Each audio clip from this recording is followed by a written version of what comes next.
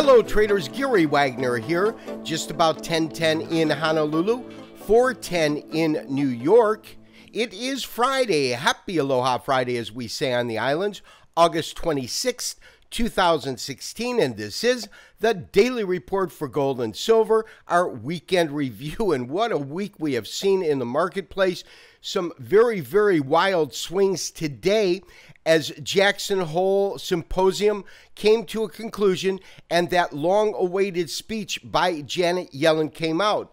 Of course, it wasn't so much her, but statements made by Fed presidents that kind of set the market wafting and set that volatility scale to a real high number. And as we look at the market closing out the week, we've got some real interesting action.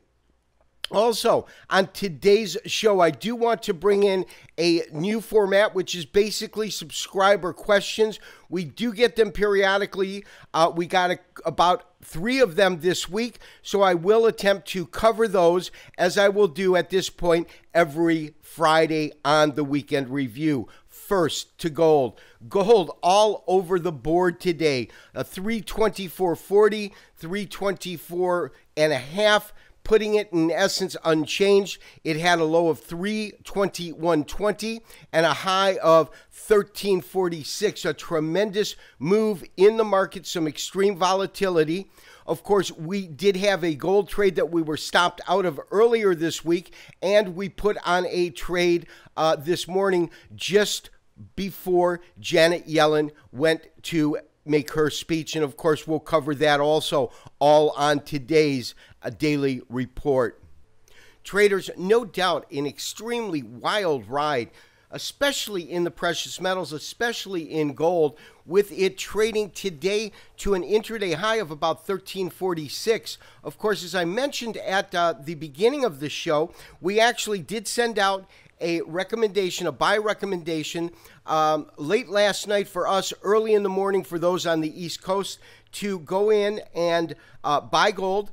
Silver's always included for those that trade silver. They can go in and enter a long position in silver. But specifically to buy gold, we bought at 1332 with stops under 1320. Now take a look at the single candle that was created from today's action. That's this candle right here. It is by all stretch of the imagination a doji. It is pretty much a gravestone doji if we look to identify it because of the size of this upper wick and the position of the body to the high and the low in the marketplace itself. And to give you an idea of the kind of volatility we saw, I'm going to bring over a much shorter uh, time span. This would be a 30 minute time span, and it's also of COMEX futures, but we put the trade on just prior to uh, Yellen speaking. You can see how this market really ramped up, hit this extreme high at 46. The low that came in on this one half hour bar had this tremendous range of 46 on the top, 22 on the bottom, low at around uh, 21. Our stops are sitting at 1320. And as I said, my recommendation is to maintain our current long position, maintain our current stop. Of course, we've got some room and, and some area to make up uh, due to the fact that we did take a loss. We incurred a loss this week when we got stopped out of the market. So, traders, the first question that I want to cover today comes in from one of our subscribers, which is simply I noticed that there was a larger contracting triangle in the December uh, 16 COMEX chart formed in which the lower price line was joined by a late June and mid July price points, and the bottom support is currently around 1325, which is very close to current price. Do you think this triangle can withstand Yellen's impact? And so I wanted to make a comment on it. Obviously, it did, but I don't think that the if if what you're asking about is this lower support line, which would be formed from uh, these lows here and these lows here, because this is our June, as you said, and then mid July, you can make a case that if we simply use these two lines, of course, we would have broken through if we just fixed these lows. But if we add these lows in there, and this is the long, long standing uh, support line here, of course, it wasn't even, it, we didn't even come close to actually having it touched. I think that the key level that we want to really be aware of is this 1321, which is a 23% retracement, and it is a retracement um, really from the moves down at the bottom of the year to the tops that we hit at around uh, 1380. I hope that answers your question. So, the next question that I did want to address uh, comes from one of our subscribers in Australia, uh, Simon G. I'll just use his last initial. Uh, Gary, in your current wave count, how can you justify that wave 4 overlaps wave 1? And I'm assuming that we're talking about uh, this particular wave four here because, of course, on our minor count, we're at one, two. We're trying to see when we're going to finish three, so we're not even at four. If we take these lows and kind of move them over, you'll see that they do come into, and again, this is a daily chart. So on an intraday basis, the high of the day absolutely came into this wave one. And so the question is, how do I justify it? The fact of the matter is, is that I use candlesticks pretty much exclusively rather than a bar chart. And what that means is that, like my uh, Japanese counterpart, I focus extremely on the bodies, meaning the relationship between the open and close, rather than the extreme highs and lows in the market. Now, here's what I mean to say. When you look at how I draw a trend line, for example, you'll notice that on most of the occasions, I'm going to the body of the candle itself as opposed to drawing it from the tail, these extreme lows or extreme highs that come into the market. So the reason that as this market came down, we're, we hit a four and then it began to move up, it seemed to be a logical place for four. And yes, it does go into the area of a intraday high, but not on a closing basis. So I hope that answers your question. As far as our current position in gold goes, recommendation maintain your current long, maintain your current stop. Silver did have a nice finish today, closing up almost a full percentage point, 0.81 at $18.64 with a low of 1848 and a high of 1906 on the day. Which brings us to our final subscriber question of the week. And this comes in, it's a question about silver. And it says, just wondering if I could get Gary's thoughts on an Elliott wave count in silver. It appears to have completed wave four of five since the bottom was put in. If so, could that translate to a gold chart as well? And I pulled up a weekly chart so we can take a look at more of the broad strokes. Of course, we hit our bottom not only in gold, but in silver. Silver going below $14 back at the end of last year, beginning of this year. And really, the way I see this count is this would be our, our minor count, but one, two, three, and this is where we're talking about this wave four just being completed and how that correlates to gold. Well, a couple of things. If you recall from our daily show, we talked about the importance of this 61% retracement, which comes in at around 1850, which turns out to be the lows that we did hit this week and matches up quite eloquently.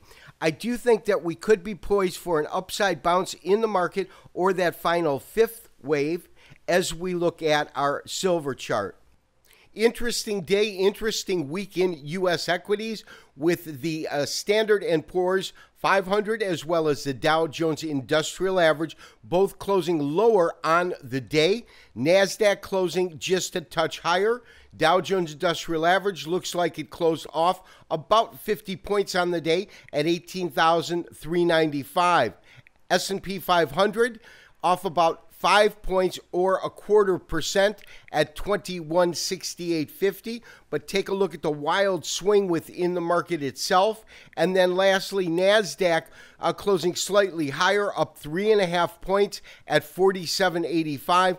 This, of course, is the NASDAQ 100 E mini.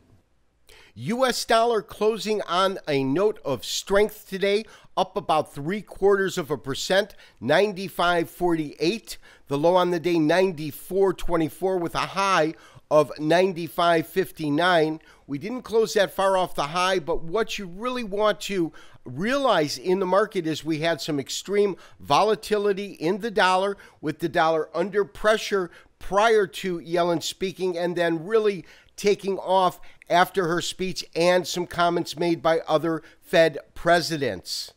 And just to give you a real idea of what we are looking at, I've pulled up a very, very short term chart 120 minutes. You can see going into uh, this morning's trading session under slight pressure, coming in trading lower. But then take a look at this these two hour bars, the kinds of spikes and moves we saw until inevitably hitting this intraday high at about 95.60 and then trading just off slightly on the day, but still closing solidly higher. No doubt a most interesting week in the markets overall, uh, with today's kind of cap with Janet Yellen speaking after the conclusion of the Jackson Hole Symposium.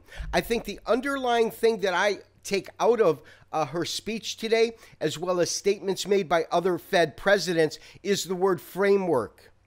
And what I took out of it was that all of the different uh, people within the Federal Reserve tried to really highlight the fact that we really don't want to look at a single rate hike, whether we get a rate hike in September, which might or might not be so likely. We'll probably get one this year, which might or might not happen. But what they want us to focus on is the fact that even with a rate hike this year, their kind of takeoff or ramp, I should say, is very, very low in terms of the angle or steepness of that ramp to really ratcheting up interest rates. In other words, what they basically said is this framework will keep interest rates very low for years to come rather than looking at something where we're going to ratchet it up uh, two percentage points or 200 basis points in a single period or a single year. They're talking about a very, very slow